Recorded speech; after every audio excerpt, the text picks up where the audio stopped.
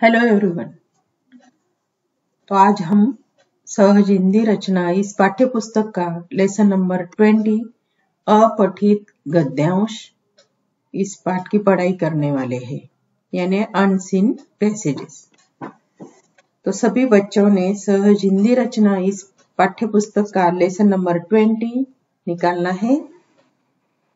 अपठित गद्यांश, यानी लेख का वह अंश जो पहले पढ़ा न गया हो।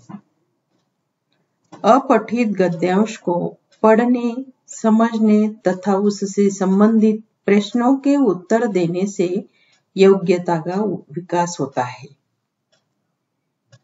तो देखो, पैराग्राफ दिया है, उसके नीचे क्वेश्चन दिए हैं तो हमें उत्तर लिखना है।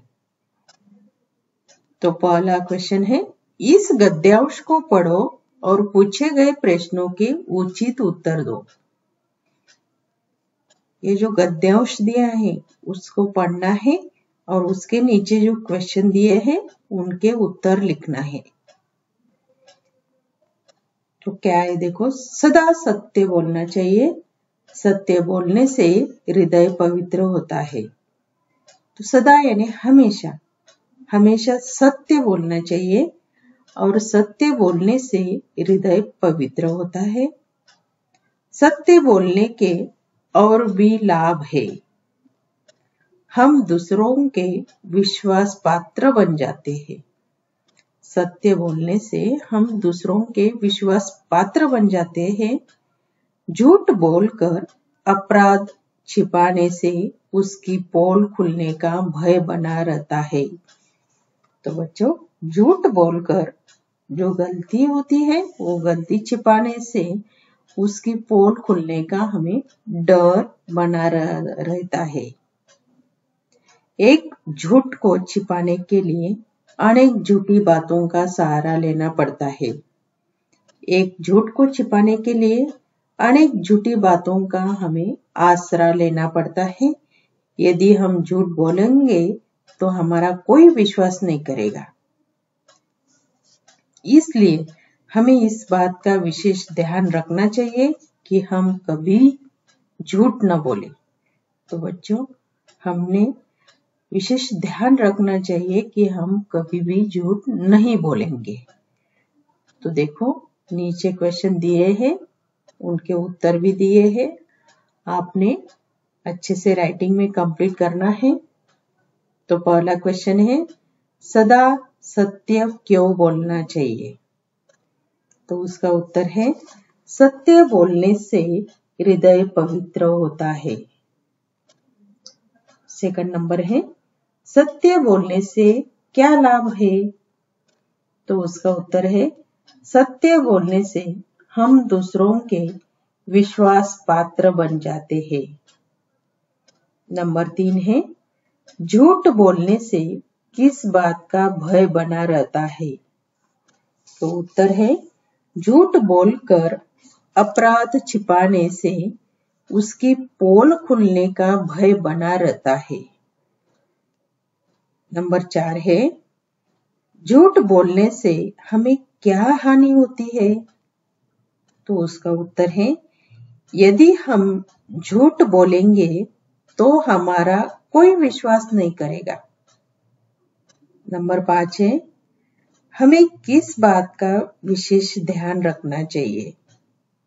तो उत्तर है, हमें इस बात का विशेष ध्यान रखना चाहिए कि हम कभी झूठ न बोले। तो इसी तरह यह क्वेश्चन आंसर समाप्त हुए हैं। नेक्स्ट पेज निकालो सेकंड क्वेश्चन है, नीचे लिखे गद्यांश को ध्यान से पढ़ो और पूछे गए प्रश्नों के उत्तर। दो जल हमारे जीवन के लिए बहुत आवश्यक है। जल यानी पानी। पानी हमारे जीवन के लिए बहुत आवश्यक है। जल का उपयोग पीने के अतिरिक्त खाना बनाने, नहाने, कपड़े धोने, घर की सफ़ाई करने तथा खेतों में सिंचाई करने आदि के लिए किया जाता है।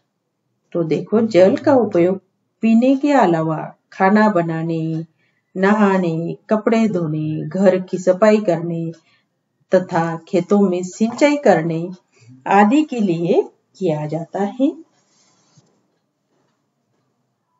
पानी से बिजली बनती है, भी बनाई जाती है। पानी से बिजली भी बनाई जाती है। इसके बिना संसार का कोई काम नहीं चल सकता। पानी के बिना संसार का कोई भी काम नहीं चल सकता। पौधे, जानवर तथा अन्य कोई भी प्राणी जल के बिना जीवित नहीं रह सकते। जल का मुख्य स्रोत वर्षा है।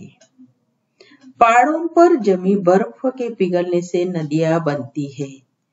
नदियों का जल समुद्र में पहुँचता है। समुद्र के जल से बाप बनती है, उससे बादल बनते हैं। बादलों से वर्षा होती है। वर्षा यानी बारिश। वर्षा का जल नदियों व झीलों में जाता है। जल जीवन के लिए बहुमूल्य है। हमें इसे दूषित नहीं करना चाहिए। तो इसी तरह है, यह पैराग्राफ है, उसके नीचे क्वेश्चन आंसर क्वेश्चन दिए हैं, हमें उत्तर लिखना है। पहला क्वेश्चन है, जल का मुख्य स्रोत क्या है? तो जल का मुख्य स्रोत वर्षा है, वर्षा यानी बारिश। सेकंड क्वेश्चन है, वर्षा का जल कहा जाता है? तो उसका उत्तर है वर्षा का जल नदियों व झीलों में जाता है। नंबर तीन, नदियाँ कैसे बनती है? तो उसका उत्तर है, पहाड़ों पर जमी बर्फ़ के पिघलने से नदियाँ बनती है। नंबर चार, जल के कुछ उपयोग लिखो। तो उसका उत्तर है, जल का उपयोग पीने के अतिरिक्त खाना बनाने, नहाने, कपड़े धोने, घर की सफ़ाई करने तथा खेतों में सिंचाई करने आदि के लिए किया जाता है। तो बच्चों, इसी तरह आपने गुड हैंड राइटिंग में उत्तर कंप्लीट करना है और एक बार रीड भी करना है। धन्यवाद।